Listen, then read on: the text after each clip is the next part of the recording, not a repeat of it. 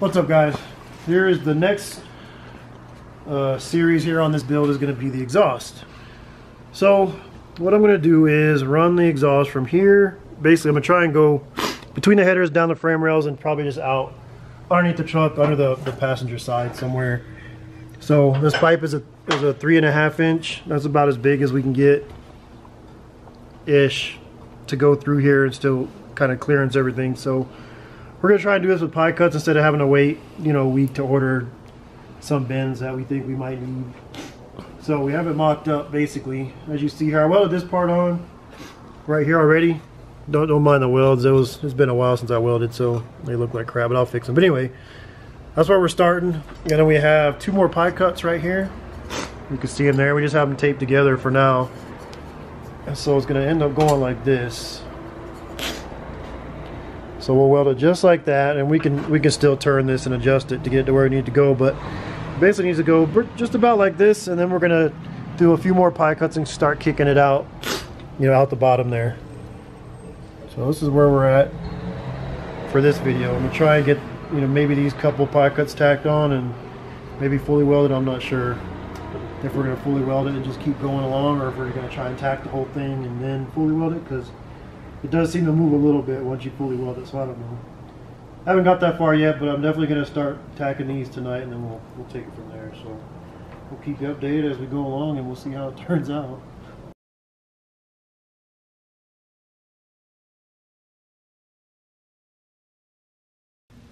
Continuing with the exhaust, coming out of the back of the turbo here.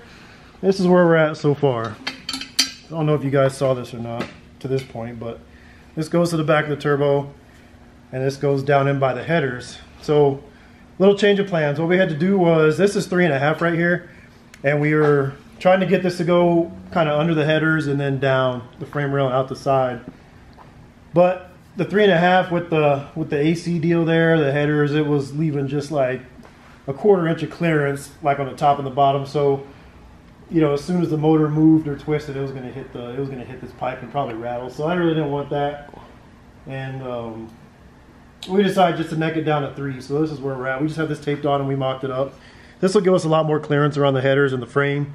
So we'll just have to run a three from here on out, and then this is going to go down like a 90, um, like over the frame rail, rail and then out the side under the truck. So we're going to get this tacked up. We had to cut, we had a straight pipe on here, the three and a half, so we going to keep, you know, keep going with that. So we cut that off right here. Uh, got this at Napa. It's a three and a half to a three inch reducer and uh, we're going to make this work and then go with that. And hopefully this will fit a lot better. We're still going to wrap this in the headers. And that was another thing. If, if the engine didn't move and it wasn't wrapped the clearance probably would have been fine. If I had solid mounts well I'm not going to put solid mounts on this thing. And then with the you know with the headers being wrapped and this it would have been I mean it probably would have been touching. And then as soon as the, the motor torqued you know under acceleration it would have it would have been hitting it. So didn't really care for that. So like I said, this is why we're going down to a three inch. I really didn't want to, but um, that's kind of where we're at. I also thought about raising the motor, like putting a spacer underneath the, the motor mounts to raise up the motor a little bit, but I didn't want to mess with, you know, have that throw off the pinion angle and get into a whole other set of problems that I wasn't prepared for. So this is how we're doing it. We have to change at a later date, and so be it. But right now, that's, that's what we're going to do, and I'm going to get this tacked into place, and we're going to keep rolling.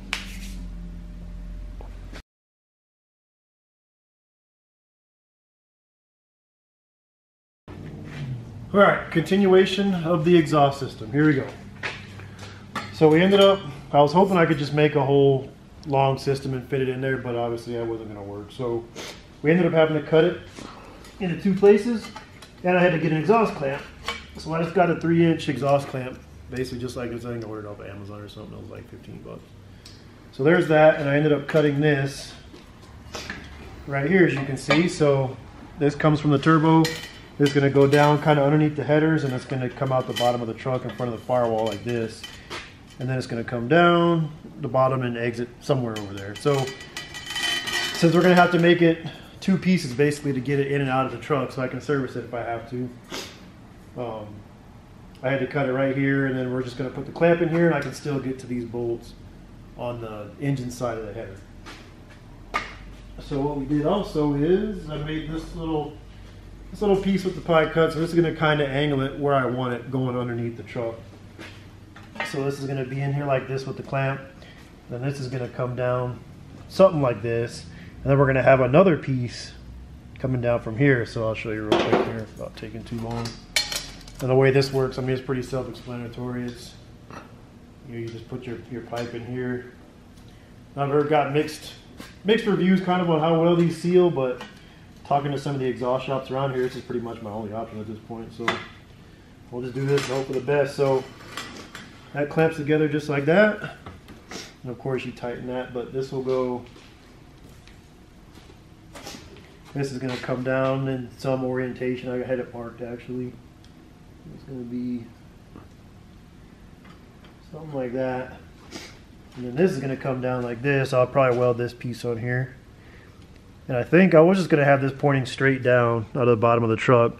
But I think that's gonna probably shoot the exhaust into the ground and then with it being hot, it's gonna come right back up into the cab or out the window. So what I'll probably end up doing is buying another 90 similar to this. And then I'll just 90 it straight back and at least point it back. I'm not, I don't know if I'm gonna run a full exhaust like right now.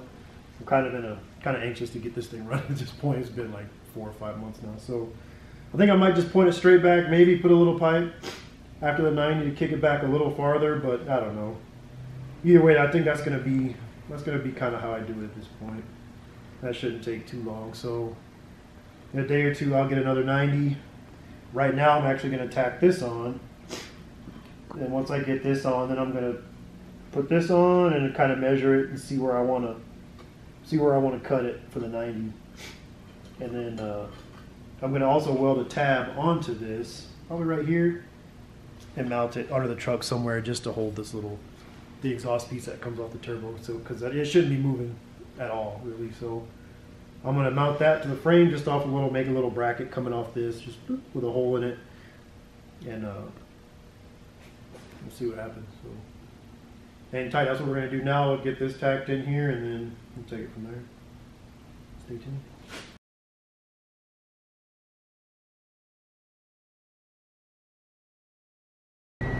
All right, guys, so continuation of the exhaust build here. So of course, this is the side that goes to the turbo, and it's gonna go out underneath the truck.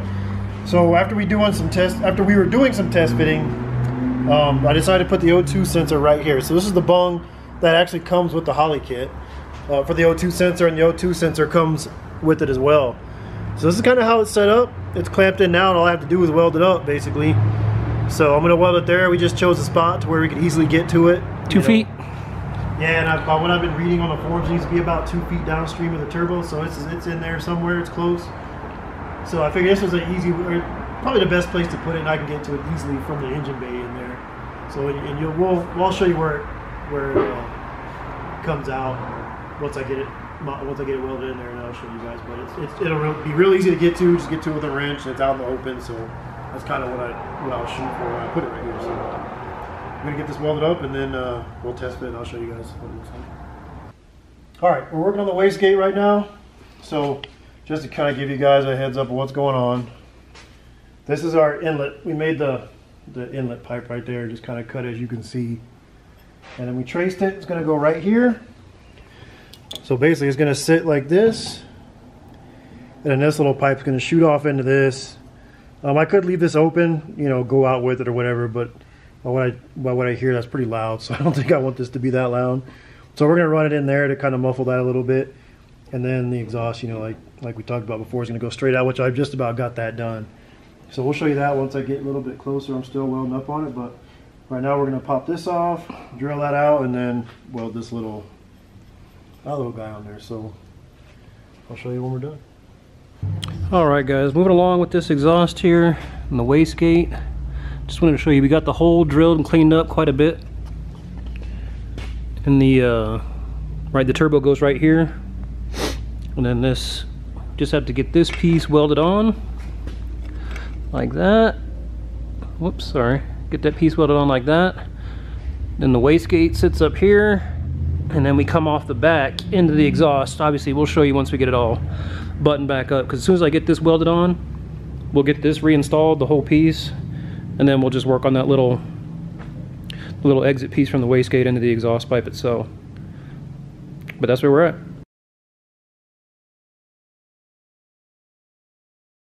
Alright guys, just wanted to show you the finished little, uh, I know what you call that, pedestal I guess, for the wastegate on the hot side right before the turbo. Once I get it all bolted in, I'll show you guys, you know, how it looks and exactly what we got to do next.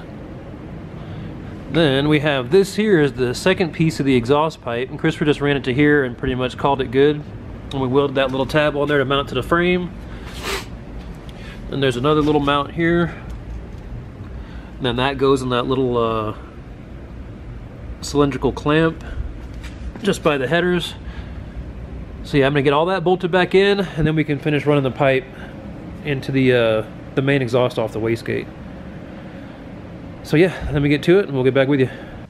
All right, guys, continuing the exhaust here. So we got the wastegate mounted. He welded that up. He probably showed you that, the little pedestal there. So now we just have to go from this one to here.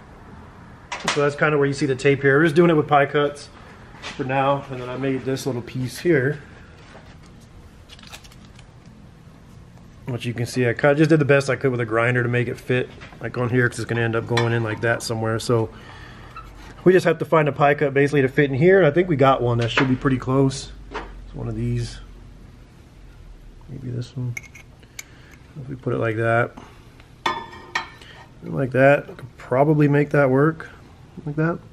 You guys get the idea. So it's going to go like that. But what I'm going to do first is weld at least probably these two right here.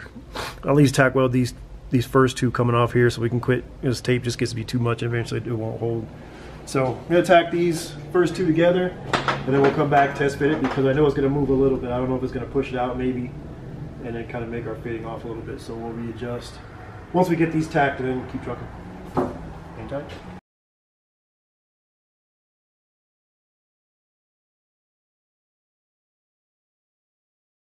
All right, so I think we got it just about done right here. Um, as you can see, it just goes from here to here.